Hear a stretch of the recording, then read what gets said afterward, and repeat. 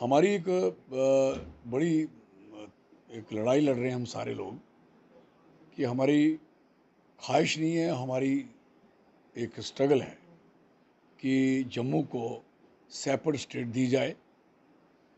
Separate state के साथ with article three seven बन दिया जाए।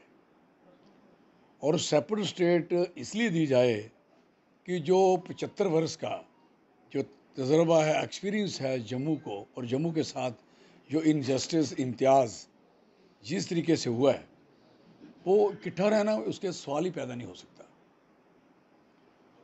आप किसी भी मरहले पे चले जाएँ, किसी भी जगह पे बात करेंगे, कोई भी बात करके देखें, अगर डेवलपमेंट की बात करोगे तो पिछाड़ दिया गया।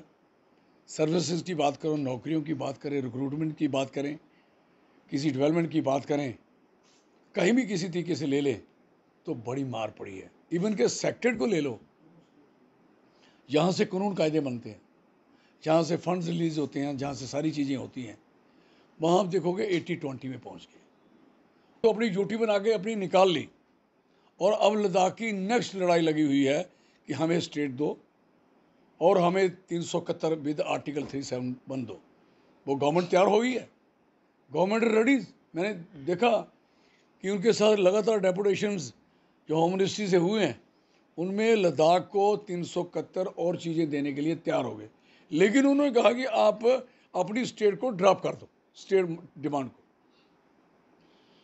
तो कहने का मकसद, मैं, हम तो चाहेंगे उनको स्टेट मिले, उनके साथ हमारी सपोर्ट है, अच्छी डिमांड है।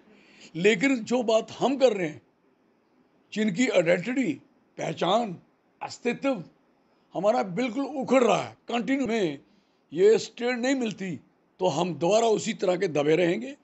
और अगर हमें स्टेट के साथ तीन सौ कतर नहीं मिलती तो हमारी सारी जो सिक्योर ज़िंदगी है हमारे लोगों की बच्चों की कारोबार की रोज़गार की वो सारी की सारी रहेगी रहे, रहे